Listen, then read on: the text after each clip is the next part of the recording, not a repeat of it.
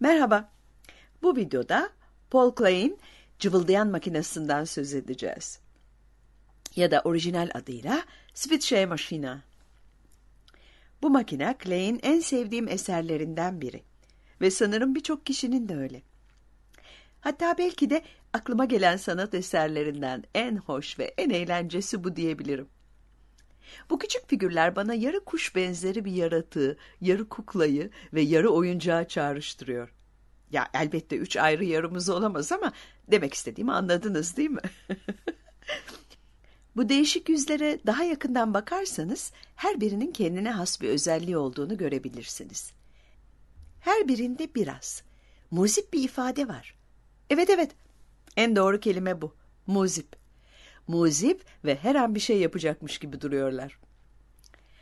Karakterlere bakıyorum ve soruyorum, cıvıldayan makine nedir? Clay bizim için bu muhteşem nesneyi ortaya koymuş. Sulu boya zemin üzerine basit kalem ve mürekkeple çizilmiş, çok incelikli ve hoş ama tamamlanmamış gibi duruyor. Neredeyse hala yarım. Bu harikulade davet, seyircinin bir şekilde uzanıp kolu çevirmesi ve makineyi hayata geçirmesi için. Clay İsviçreli olduğu ve içinde kuşlar olduğu için bunun bir guguklu saat olduğunu düşünüyorum. Guguklu saatin iç aksamını parçalara ayırıp ters yüz etmiş gibi. Kuşlar özgür bırakılmış. Özgür bırakılmış çünkü bu zamanın devinimi ya da zamanın yapısıyla ilgili değil. Bu insan gücüyle çalışan bir makine.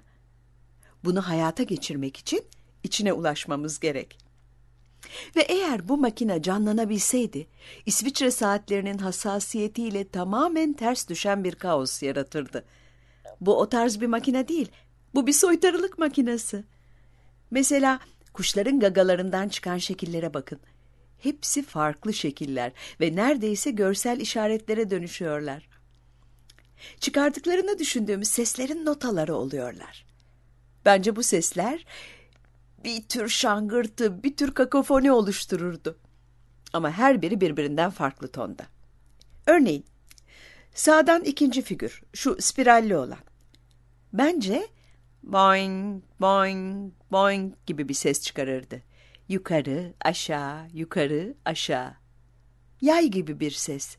Diğeri de vak, vak, vak. Bunların hepsinin aynı anda olduğunu hayal edebiliyorum. Ayrıca o kaosu kolu çekersek makinenin neye benzeyeceğini de görsel olarak da hayal edebilirsiniz. Çünkü her kuş boşlukta yay oluşturan bir çeşit telin üzerine tünemiş.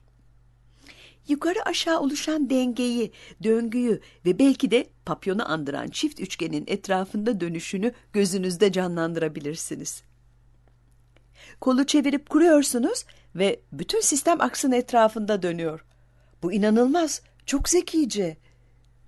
Dondurulmuş bir çizimde ses, hareket ve enerji çağrıştırmayı başarmış.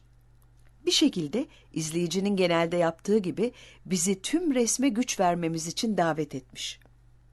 Bizi gerçekten etkileşime, kendisiyle oynamaya davet ediyor. Adeta eğlenceye davet gibi. Bu çok ilginç. Çünkü Clay bir yıldan beri Bauhaus'a dahil edilmiş durumda. Bauhaus dendiği zaman biraz daha ağır, daha ciddi bir şey düşünürüz.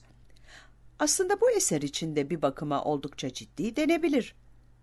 Onlar da çok eğlendiler ama eğlenceleri bile ciddiydi. Yeni şeyler yapmamız gerekiyor gibi ve yeni partiler vermemiz gerekiyor gibi ya da ortalığı karıştırmak için yeni yollar bulmamız gerek gibi.